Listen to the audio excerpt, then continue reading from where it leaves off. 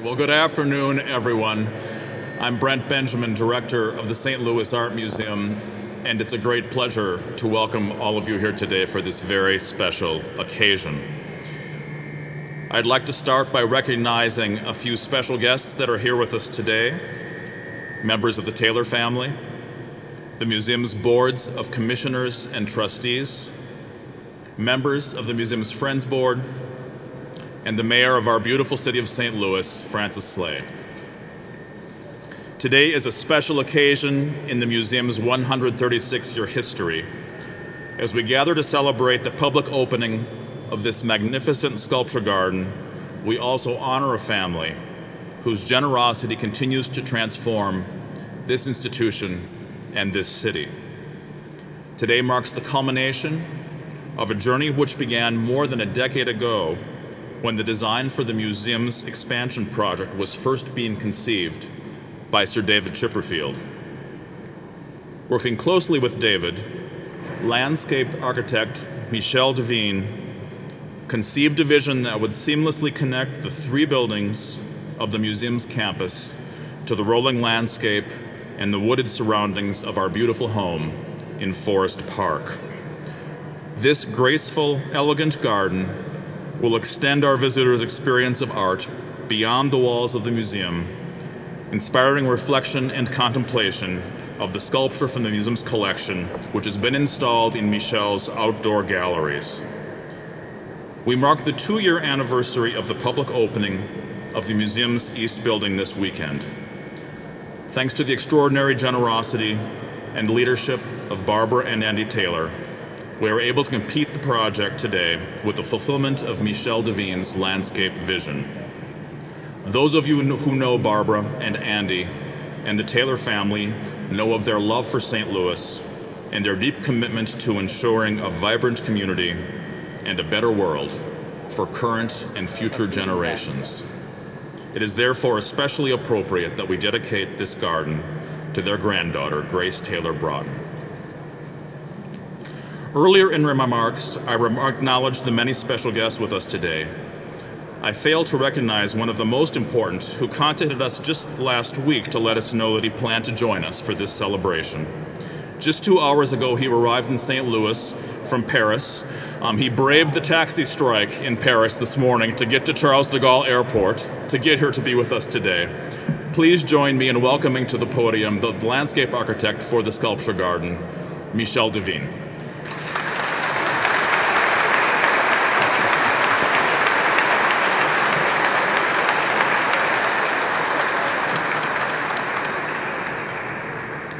So I'm extremely happy to be here tonight and even moved.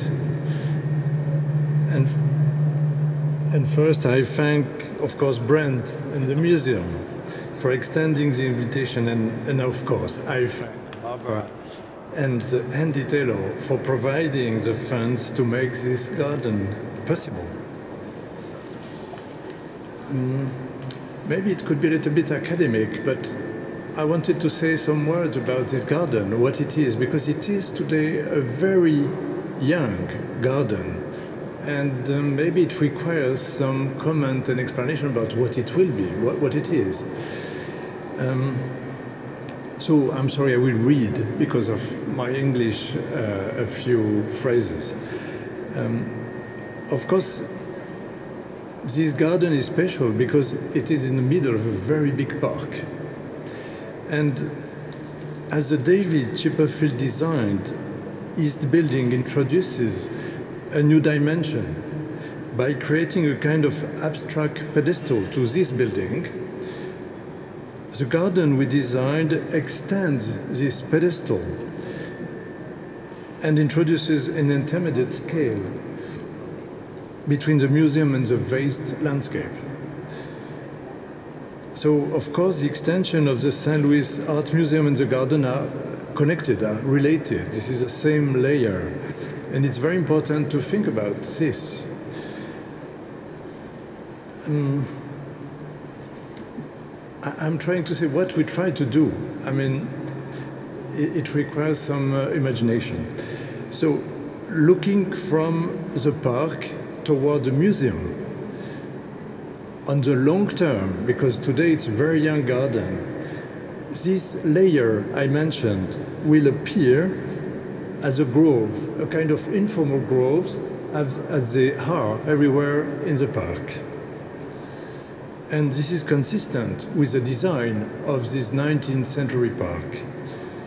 But while approaching the building, this plant massing will, is gradually ordered into geometrical blocks to form regular outdoor rooms that extend the museum architecture outside.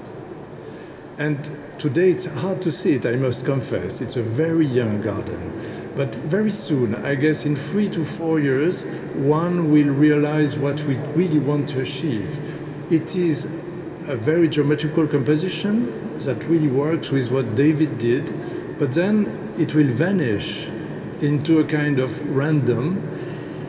Of course, these trees are too young to really see this. I'm, maybe I'm too long, so I will try to make it more simple. Um, I mean, it's about the design, and again, I really love what David did. So it's very geometric, but the way these rooms, so this is not, I'm not reading, I'm improvising, so it's risky. But, you know, it, it is not a classic organization. It's very simple, very rigorous, but the way you are moving from a room to another one is very special and according to me very contemporary. It is not a regular composition. It is ordered, but there is some unexpected architecture.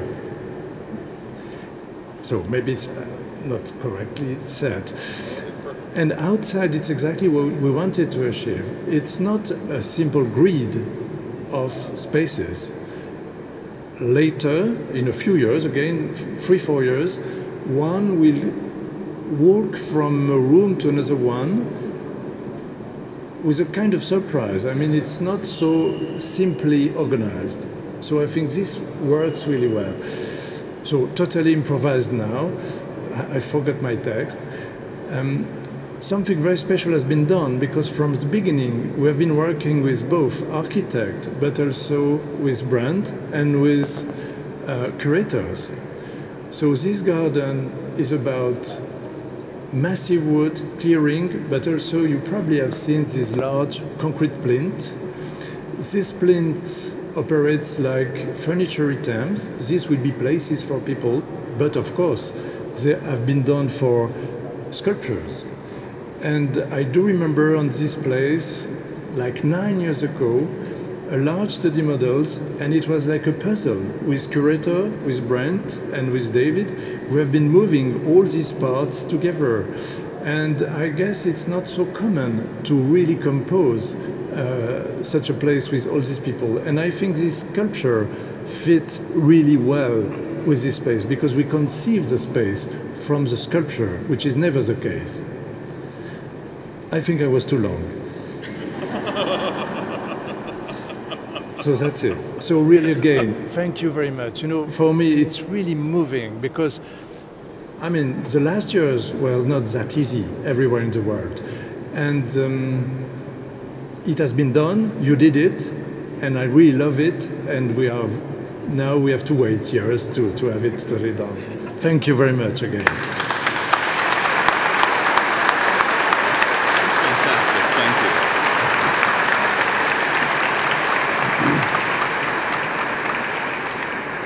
Thank you, Michel, for those wonderful words. Um, and now, Grace, maybe you would bring your family up and we can cut the ribbon to open the sculpture garden to the public.